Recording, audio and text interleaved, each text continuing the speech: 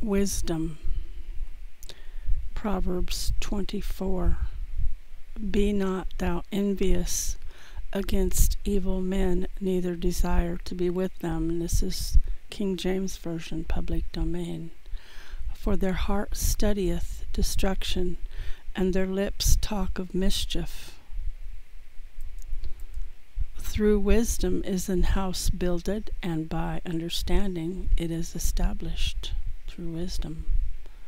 And by knowledge shall the chambers be filled with all precious and pleasant riches. A wise man is strong, yea, a man of knowledge increaseth strength, strength. For by wise counsel thou shalt make thy war, and in multitude of counselors there is safety. Wisdom is too high for a fool, he openeth not his mouth in the gate. He that deviseth to do evil shall be called mischievous, a mischievous person. The thought of foolishness is sin, and the scorner is an abomination to men. The thought of foolishness is sin, and the scorner is an abomination to men. If thou faint in the day of adversity, thy strength is small. If thou forbear to deliver them that are drawn unto death, and those that are ready to be slain, if thou sayest, Behold, we knew it not, doth not he that pondereth the heart considereth it?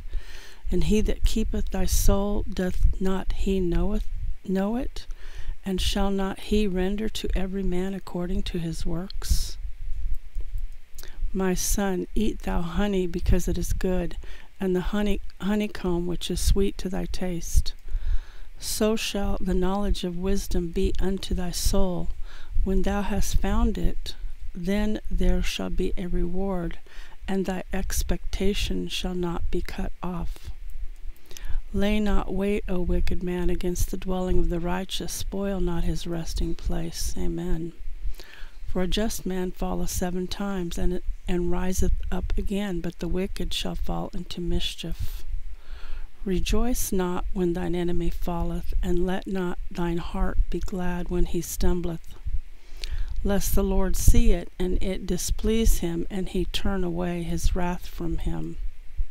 Fret not thyself because of evil men, neither be thou envious at the wicked for there shall be no reward to the evil man, the candle of the wicked shall be put out.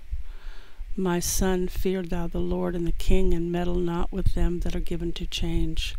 For their calamity shall rise suddenly, and who knoweth the ruin of them both? I'm going to stop right there. This goes on to 34 verses, so that is um, Proverbs 24. Lord, we thank you for wisdom above all things. You said, get wisdom. And we thank you for understanding, Lord God, on how to apply wisdom. And we thank you for peace, love, joy, prosperity, health, healing, salvation, deliverance. We give you all the praise and glory in the mighty name of Jesus. Amen. Thanks for watching. God bless. See you next time.